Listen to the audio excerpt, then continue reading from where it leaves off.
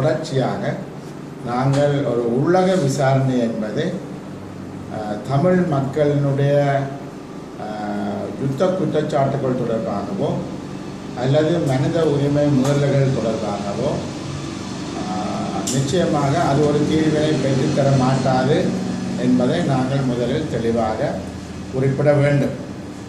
இந்த ஐநா சபையினுடைய இந்த விசாரணை என்பதை வடக்கு மாகாண சபையும் இணைந்து அதனை செயற்படுத்த வேண்டும் என்ற விடயத்தில் ஆனால் நிச்சயமாக வடக்கு மாகாண சபை அது தொடர்பாக இதுவரை எந்த விதமான ஒரு சபையில் அது தொடர்பான எந்த விதமான பேச்சுக்களும் நடைபெறவில்லை சபையில் எந்த விதமான தீர்மானங்களும் நிறைவேற்றப்படவில்லை அவ்வாறான ஒரு சூழ்நிலையில் ஐநா சபை இப்பொழுது அந்த கசிந்திருப்பதாக சொல்லப்படக்கூடிய அல்லது வெளியில் வெளிவந்திருக்கக்கூடிய அந்த அறிக்கையின் பிரகாரம் வடக்கு மாகாண சபை அதில் ஒரு அதில் ஒரு அதில் இணைந்து அந்த காரியத்தை செய்ய முடியும் என்றும் நாங்கள் எதிர்பார்க்கவில்லை.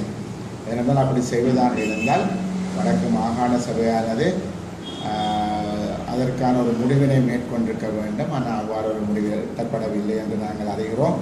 அது மாத்திரமல்லாமல் இது தொடர்பாக வடக்கு மாகாண சபையுடைய முதலமைச்சருக்கோ அல்லது இனியோருக்கோ எவ்வளவு தூரம் இந்த விஷயங்கள் பேசப்பட்டிருக்கிறது சொல்லப்பட்டிருக்கிறது என்ற கேள்வியும் இருக்கின்றது. ஆகவே முதலாவதாக வடக்கு மாகாண சபையும் தமிழ் தேசிய கூட்டமைப்புடைய கட்டுப்பாட்டிற்கு இருக்கின்றது.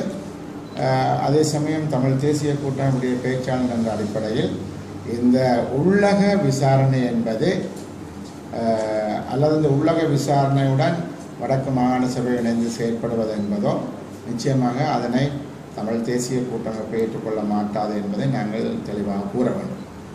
ஆகவே நான் ஒரு விடயத்தை தமிழ் மக்களுக்கு மிக தெளிவாக கூறிக்கொள்ள வேண்டும். அதாவது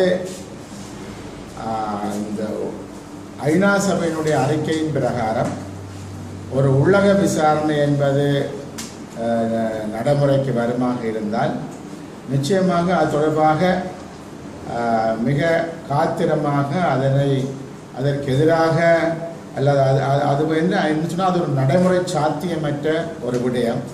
ஆகவே ஒரு தமிழ் தேசிய கூட்டமைப்பு வலுவான ஒரு சக்தியாக வரமாக இருந்தால் தான் நாங்கள் அதற்கு எதிரான மது ஒரு காத்திரமான போராட்டத்தையும் கூட நடத்த முடியும் ஏனென்றால் உலக விசாரணை என்பது நிச்சயமாக அதனூடாக தமிழ் மக்களினுடைய பிரச்சனைகளும் தீரப்போகிறது கிடையாது. ரெண்டாவதாக ஏற்கனவே இந்த நாட்டில் பாதிக்கப்பட்ட மக்களாக இருக்கக்கூடியவர்கள் யுத்தத்தால் பாதிக்கப்பட்டவர்கள் அவர்களுடைய பிரச்சனை காணாமல் போனவர்களுடைய பிரச்சனையோ எதுவுமே இந்த உள்ளக விசாரணை மூலம் தீர்க்கப்பட முடியாது என்பது நமது தெளிவான ஒரு நிலைப்பாடு